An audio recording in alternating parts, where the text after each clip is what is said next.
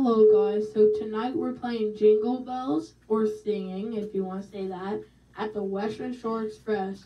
And tonight we have Georgina, Debbie, John, and me, Zachary. And I'm pretty crazy at this stuff, so I hope you guys enjoy.